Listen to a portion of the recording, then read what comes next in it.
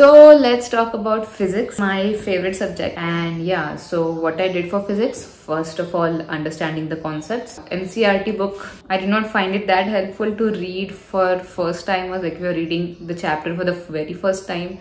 No NCERT. How I went on about it. First of all, step one, I read the chapter from where I read it first from HCV, HC Verma sir ka book. I understood did not, I did not understand it the very first time. I read it a couple of times, like two to three times. I read the chapter and then I understood it, and then I read from NCERT, and then I watched many videos to understand the concept. Hmm. So after studying the chapter, after understanding the basic concepts of every chapter, I watched the videos to understand it even more. I used Lighthouse by Physics and Walter Lewinson's lectures and the most importantly NV sir. University में जरा सी भी feel ना आए tell me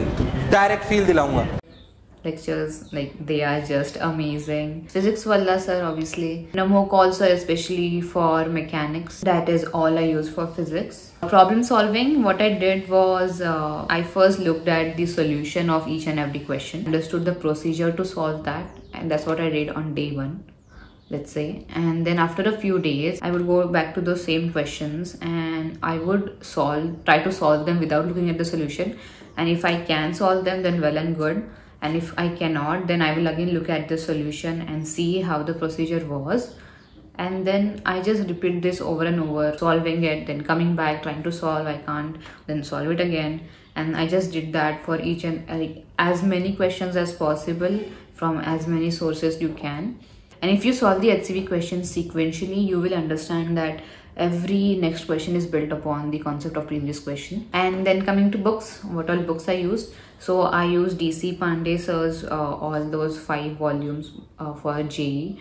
Uh, I like that because they uh, inside that book they uh, he has those concept problems where uh, he explains like what all type of questions can come from a specific concept but it's not really that necessary with respect to NEET because complex problems aren't really asked in NEET like they are but then you're given a time crunch to solve so not really that much.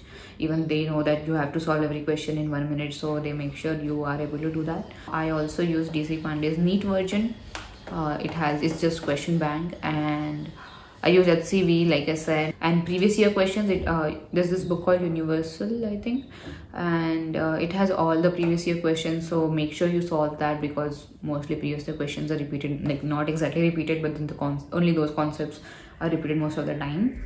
And that's it. The main thing to go on about physics is uh, practice, practice, practice. Solve as many as questions as you can, and all the best. If you have any more questions, just comment down below. I'll try to answer them. Yay.